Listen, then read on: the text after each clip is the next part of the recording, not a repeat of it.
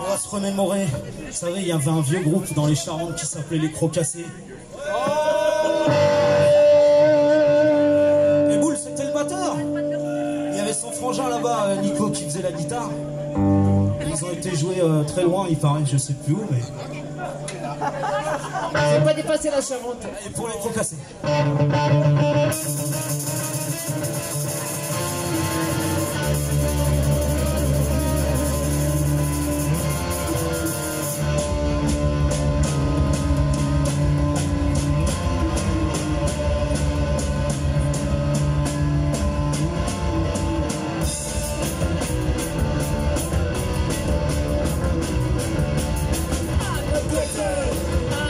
Je sens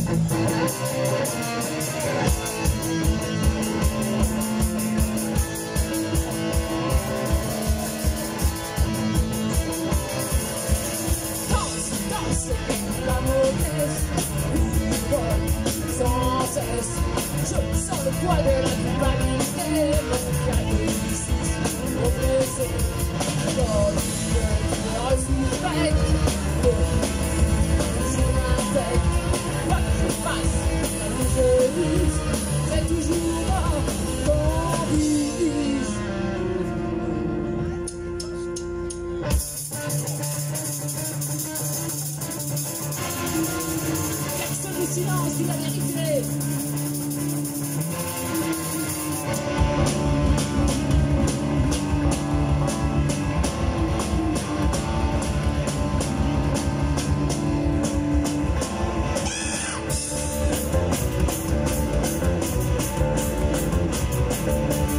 Ah,